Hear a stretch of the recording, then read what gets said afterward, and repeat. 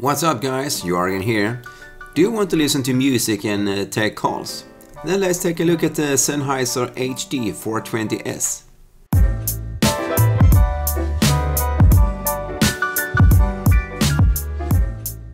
Sennheiser has always been known for making some excellent products for consumers. The HD 420S is perfect for listening to music and uh, taking calls, so you can say you get two in one. But uh, let's jump into this review and take a look at the physical appearance of these headphones. They have a clean and modern design. The headband is matte black and further down is it going over to a shiny grayish side.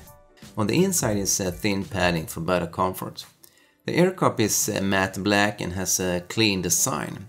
The ear padding is of a black leather and I have to say it has an exclusive look here. The opening in the ear padding is quite small and this can make the ear padding press on your ear, so this can be some uncomfortable for some. Maybe something to think about. But the ear padding is soft and it feels comfortable. The headband is also foldable for easy storage and transportation and that is always nice to have.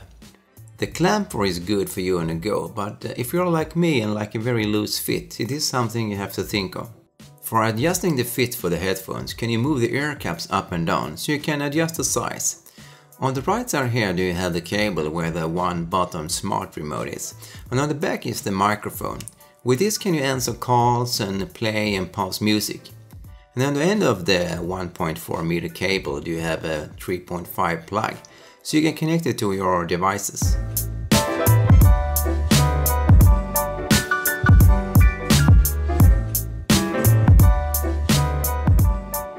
Let's take a look at the sound. There's a distinct bass and the bleed is kept to a minimum.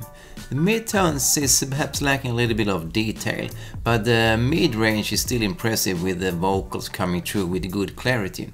This is something you notice when you're uh, taking a call on your smartphone. The high notes can feel a little modest sometimes, but, but string sound and female vocals get it to really show what it can deliver. So overall do the HD 420S deliver good sound for this price range. Well, this is all for this review, but be sure to subscribe and like, and add me on Twitter and Instagram if you like to have updates about upcoming reviews and other tech stuff. But for now, over and out.